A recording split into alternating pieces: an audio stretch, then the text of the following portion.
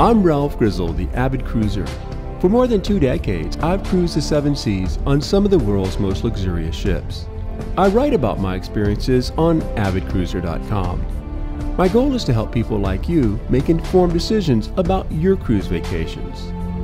Join me today in an exciting new mini-series as I explore the most popular cruise destinations around the world.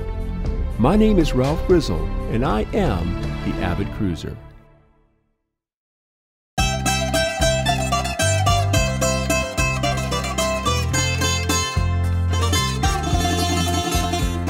Today we're in Corfu and we're on a quest. We're searching for a special liqueur that's cultivated from a fruit found here on the island. Before we begin that quest, we're going to do some fun things. We're going to go mountain biking in beautiful countryside.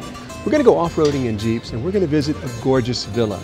We're also going to spend some time visiting the UNESCO designated Old Town of Corfu itself. We've got a lot to do, so let's get going. Corfu felt to me a little like Italy.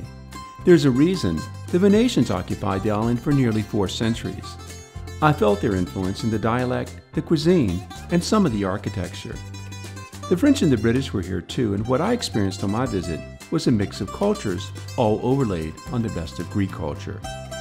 In the UNESCO recognized Old Town, I wanted to try Corfu's famous kumquat liqueur, and I found a shop where I could sample it for free and buy a bottle to take home.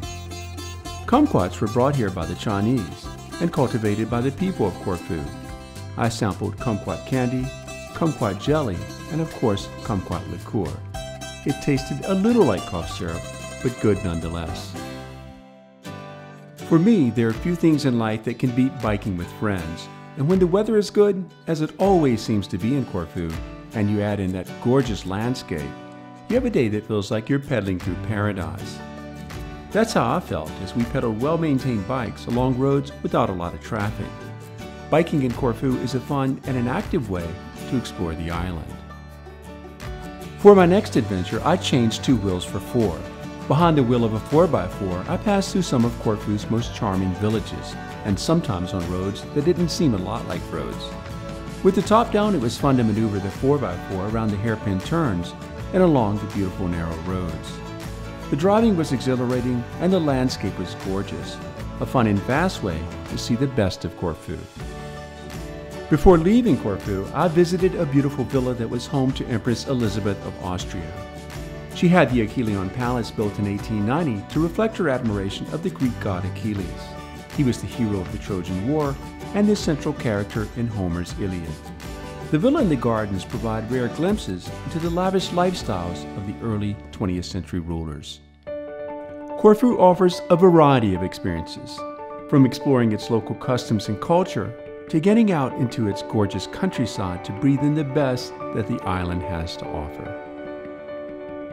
We had a great time in Corfu. We participated in some active shore excursions, mountain biking, and four-wheel off-roading.